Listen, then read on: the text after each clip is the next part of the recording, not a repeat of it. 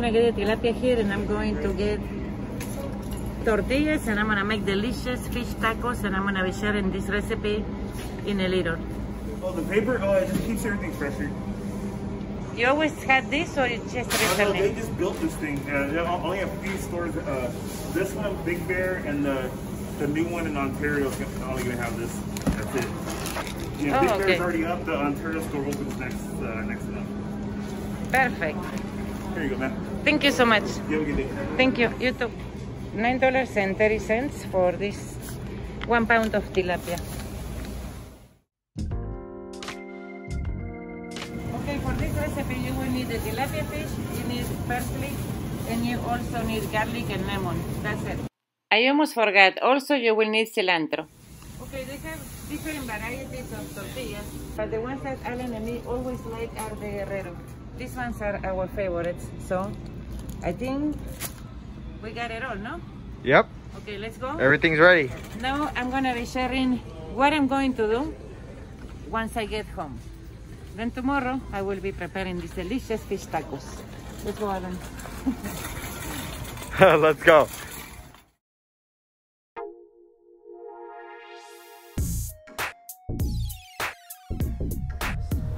Okay, so now I'm gonna start showing you what I'm gonna do with this fish. And the way that I'm gonna do it, I'm going to marinate it with garlic and parsley. I'm gonna leave it on the fridge for the whole night, and then tomorrow for lunchtime, I will be showing you how I'm gonna be preparing it. Delicious fish tacos. Okay, here I have the parsley in water. I'm going to drain this right now, and then I'm going to be washing the fish, cutting the garlic, the lemon, and that's it.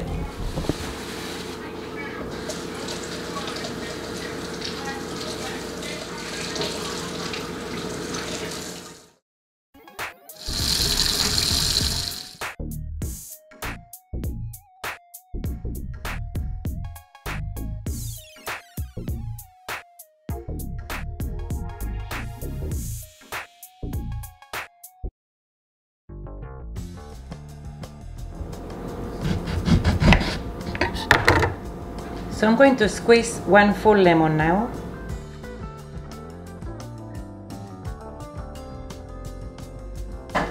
Time to put on the, see, the fish.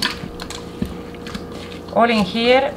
¿Cómo se? A ver, decilo vos, Alan, ¿qué es lo que pasa en este pescado? A ver, ¿qué Okay. es lo que va a pasar? Explain. So we have all the flavors here. We have the garlic, we have the lemon juice, and we have the parsley. So, and it's already mixed all with the fish, right? Mm-hmm. So now when we leave it overnight, all those flavors are gonna seep into the tilapia, and the tilapia is gonna absorb all those fresh, natural flavors, and then it's gonna be ready to be cooked. It's gonna have such a good flavor already prepped. Thank you, Ellen. I'm going now to cover it on plastic. Let me wash my hands again. Okay, cover it very well. Okay, so I'm going to now put it on the fridge. I cannot wait for tomorrow to have a delicious lunch and share it with you all. So you see how simple it is. If you have a space, try to put it on top of the fridge. Okay, so I will be seeing you in the morning and with the final step basically. Okay, so see you later. Good night.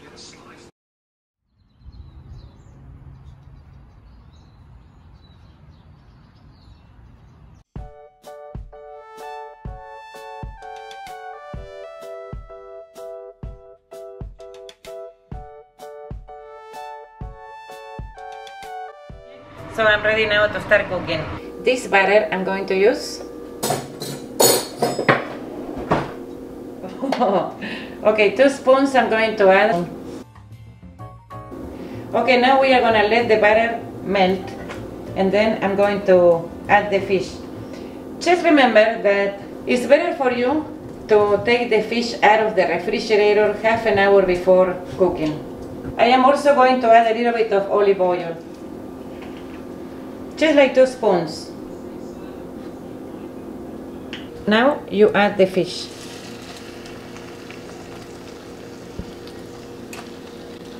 And I'm going to add the rest of the seasoning, all of it. If you don't want to add everything, don't add it. As soon as you see that the color is changing, you flip it over. I want to share that if you do the recipe as I'm showing you, it's better for you because the fish has a very strong flavor. The lemon kind of kills that strong flavor if you leave it overnight and then in the moment that you put it on the plate it tastes very delicious and very soft not with that strong flavor that this type of fish has. Okay, Alan, you can set up the table because lunch is gonna be ready. Got it.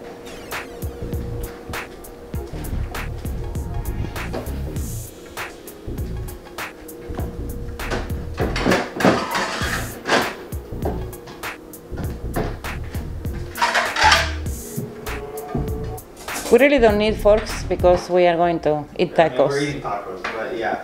but Who knows? Maybe, maybe if some stuff falls off the taco onto the plate, you can eat it with the fork. yeah, check the tortillas. Oh, the glasses.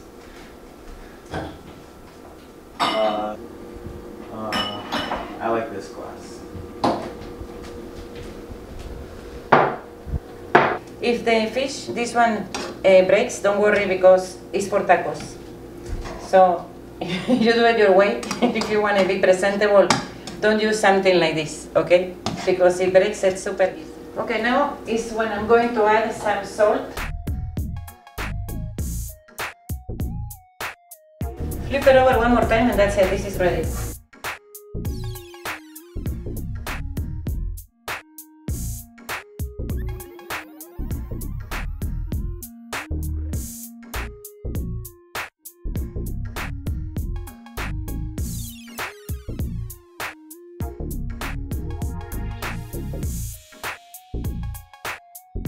Okay, so I now change the fish into this container and I'm ready to serve this delicious meal. I hope you enjoy it also. And I have the cilantro and I forgot that you can add guacamole and it's gonna be delicious, the combination. So just by chance I had one in the fridge which I'm gonna use it now. Remember, try to remember if you go to do grocery shopping for this recipe, don't forget the avocados. It gives a delicious flavor with the combination of the fish.